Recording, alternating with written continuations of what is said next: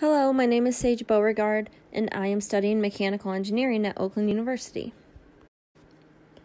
In difficult times like the ones we're experiencing right now, surfaces that we touch uh, can never be too clean, which is why for our EGR 2800 final project, we decided to create an automatic sanitizing door handle with a manual option. The current pandemic has shifted a lot of attention towards disinfection, not only of ourselves, but of the surfaces that we often touch, and this is what our team wanted to focus on. We were able to narrow down the need for door handles because it is one of the most commonly touched surfaces while in public establishments.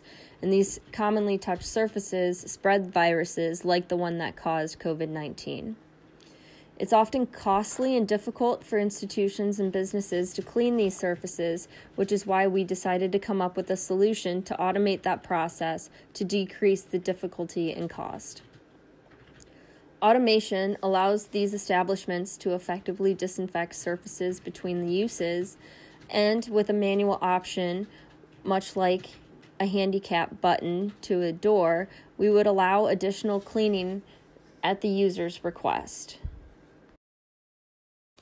Hello, my name is Marieli Perez. I work on the electrical electronic subsystem of the final project. I was also in charge of the timeline. For the electrical portion of the sanitizing door handle, we use the Arduino Uno.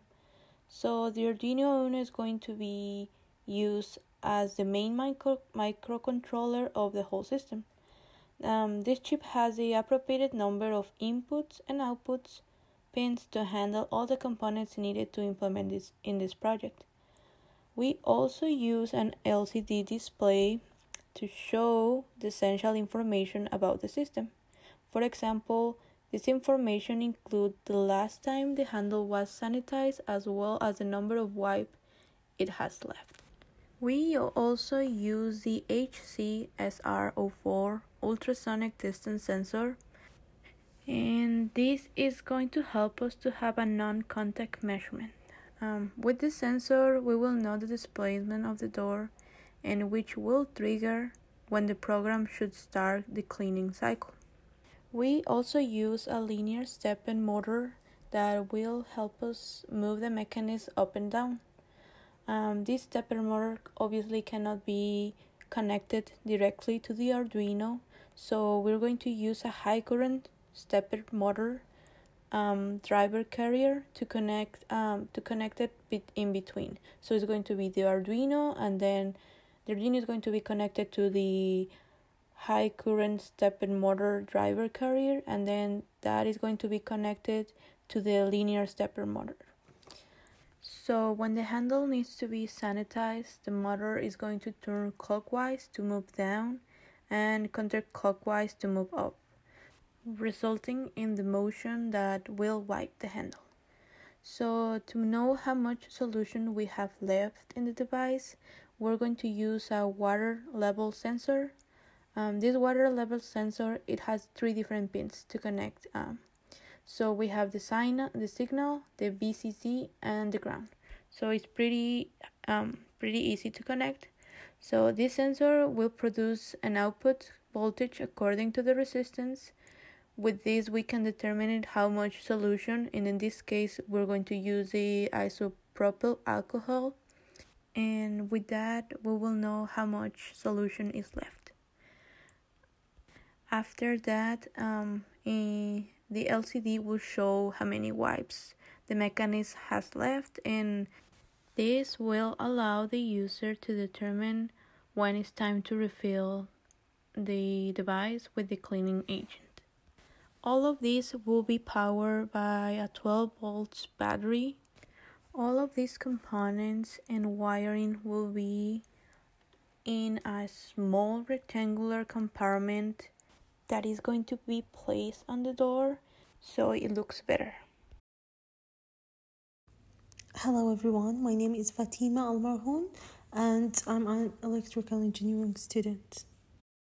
So for the project I did the electrical electronic subsystem part and now I will talk about the estimated bill of materials.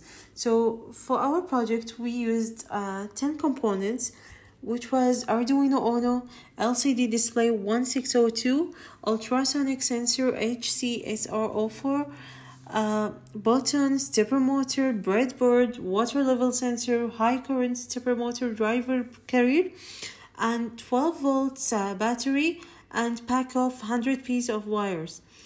So the total cost of all these components were uh, $245, which was a quite reasonable amount, but the most expensive uh, part was the stepper motor, which cost $160. Hello, my name is Asma Al Mufti, and uh, I am electrical and computer engineering major. I worked on the coding part of the project, uh, and Sage helped me with the flowchart so we can figure out how we will do the code.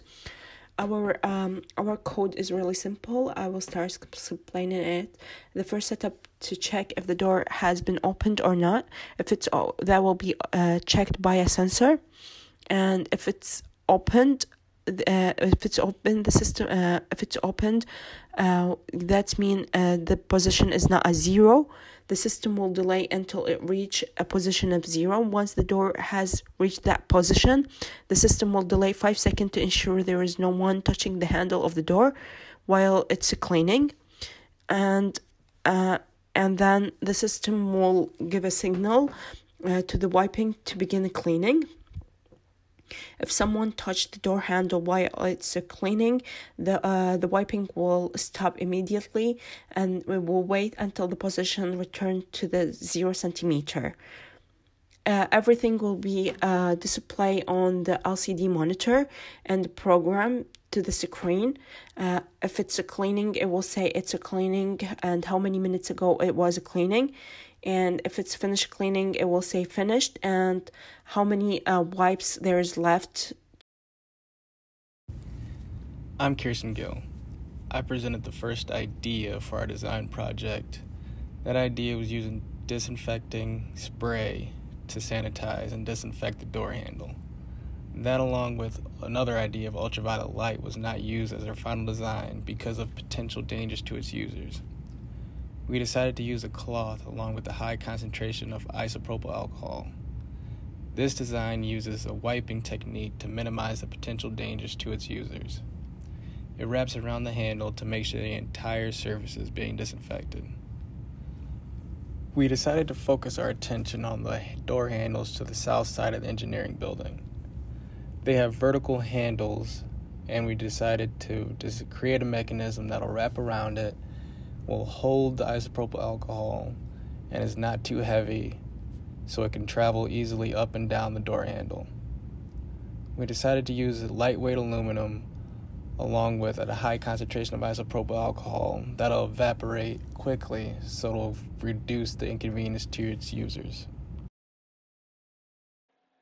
Hello, my name is Jun Lee. I'm a junior at OU majoring in mechanical engineering. I'm responsible for the CAD design portion of the project. The CATIA software was used to validate the rough sketch dimension drawings and see if it would be a good fitment when building the actual device. The drawings on the left portion of the slide shows both the device with and without the aluminum material and the fabric material for the inside wiping motion. For the design, two parts had to be created, one part for the outer shell of the device and the inner side for the cloth when wiping down the door handle. Two components were assembled into a product using a manipulation function on CATIA, and the material has been applied to present a more realistic version of the device. The design on the middle portion of the slide shows when the cleaning device is fitted onto an imitated engineering building door. If this device were to be applied to other types of doors around campus, all we need to do is change the inner part of the device to accommodate different door handle shapes. The picture next to that is the built prototype using the dimensions given from the rough sketch from earlier. By shaping and welding an aluminum sheet together, we were able to create the mechanism to hold our cleanser and other components to clean the door handle. The components inside will be properly sealed and protected in order to protect the electrical components getting liquid damaged from the sanitizing alcohol. When building the device, we also created our own door handle of the same dimensions in order to prevent any damage to OU's property. The results of our project was that the, the device did successfully sanitize the door handle, although we did not purchase the stepper motor of $160 due to the lax requirements of the final project that it did not actually need to be built.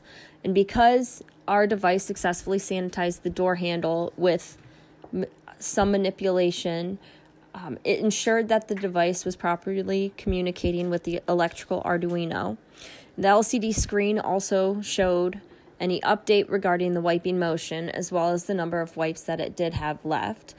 But just like any other project, there were some obstacles during the building pr- process, such as welding. It was my first time doing it, bending the material, um, as well as connection errors, sensor calibration issues, the coding program itself, as well as the actual setup of the cloth inside of the aluminum.